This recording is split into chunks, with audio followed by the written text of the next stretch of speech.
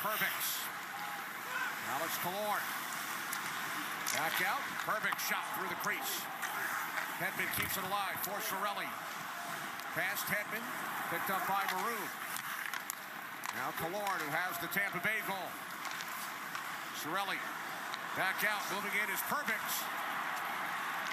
And the puck comes out of the zone. Lightning must regroup. Yeah, that shot hit Pat Maroon. It was situated right in front of Shesterkin, and Maroon's in an angry mood, drops his gloves with Harpur, who was not willing.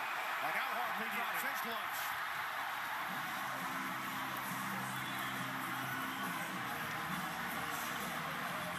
Patrick Maroon and Ben Harpur. Maroon, of course, won three straight Stanley Cups, one with St. Louis, two with Tampa Bay. And this is all about trying to change the momentum in the game. Necessarily upset with Harpur, but as this fight goes on, he might be getting more upset with him.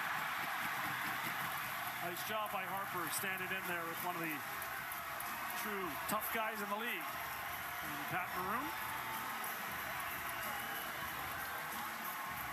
See the fight leader since the start of the 2021 season.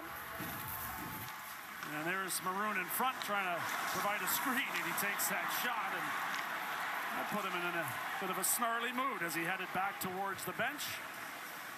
And he said, you know what? I think I'm going to grab this guy. Hack at the stick. Harpur's wondering what's happening, and eventually drops his mitts, obliges.